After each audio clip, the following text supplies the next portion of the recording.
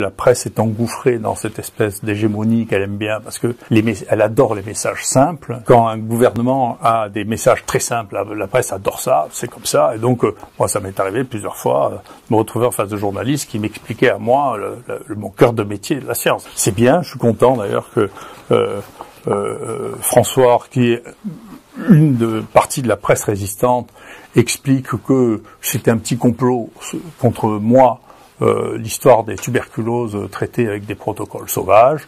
Il y en a qu'un qui le dit, bien que toute la presse soit enchantée de dire que euh, on faisait du traitement sauvage de la tuberculose euh, dans les HU. D'ailleurs, il n'y a pas de, c'est dans l'assistance publique de Marseille qu'on traite les gens. C'est pas dans les HU. Les HU, c'est une fondation. Depuis euh, huit mois qu'on nous persécute avec huit inspecteurs pour trouver ça. Je vous dirai ce qu'ils ont trouvé et je vous montrerai que le dernier point sur lequel ils attaquent, qui fait encore le bonheur des uns et des autres, est le même point, ce qu'ils trouvent dans François, qu'on peut reprocher au ministre, Monsieur Véran, à la directrice de la NSM et à la ministre de l'enseignement supérieur de la recherche, qui est partie elle aussi, euh, Madame Vidal. Et puis probablement à 99% des gens qui ont fait au moins une publication, vous verrez qu'aucun n'a entièrement respecté la réglementation parce que l'éthique est une chose, la réglementation est une autre.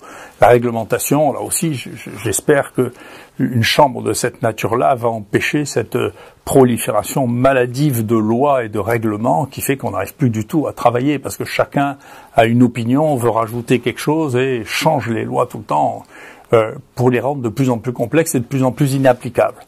Donc l'éthique, c'est quelque chose dans lequel il manque d'ailleurs profondément quelque chose dans ce pays, c'est de dire quand un malade vous sert de cobaye pour vous rapporter de l'argent, on doit lui dire. Ça, c'est dans la déclaration d'Helsinki, ça n'est pas exigé actuellement dans les CPP.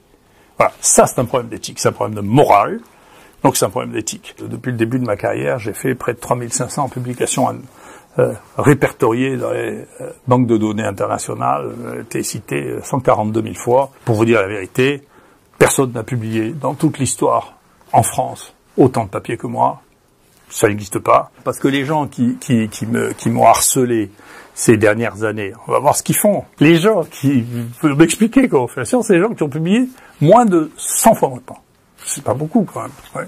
La, dame de la NSM, donc euh, je sais pas, euh, euh, François a trouvé que parmi ses rares publications, parce qu'en tout elle a fait sept publications, vous voyez son H-index c'est de 3. Elle a été citée 20 fois dans toute sa vie, cette dame. Là-dedans, ils ont quand même réussi à trouver qu'il y avait une des publications où elle est faite, où elle n'avait pas déclaré qu'elle avait présenté ça au comité d'éthique de l'époque, s'appelait les, CCP, les CCPRB.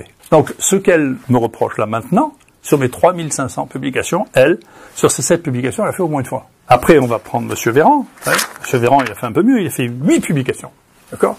Cité 55 fois, avec un H-index de 3. Ouais. Alors donc c'est eux qui vont m'expliquer ce que c'est la science, vont m'expliquer ce que c'est les maladies infectieuses, m'expliquer comment on traite les angines. Vous voyez, c'est intéressant. Au bout d'un moment, vous vous rendez compte du monde dans lequel vous vivez là maintenant?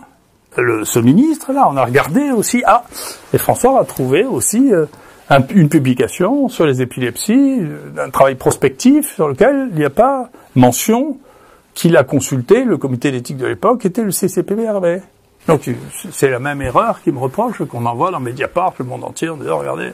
Raoult ne respecte pas l'éthique parce que il a interprété le règlement en disant que c'était le numéro 3 plutôt que le numéro 2.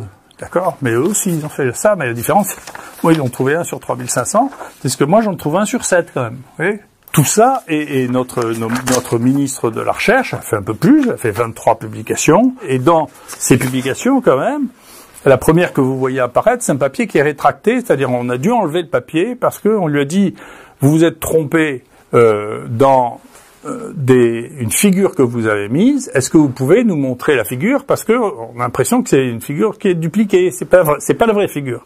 Alors comme ils n'ont pas pu fournir la vraie figure, le papier est enlevé. Vous pouvez le vérifier tout ça. Hein Donc euh, attention, il faut être prudent là. Si on commence à faire la curée sur tous les gens qui publient pour savoir s'ils ont fait des erreurs et qu'on crucifie tous les gens qui publient, vous savez, on va en crucifier quelques-uns.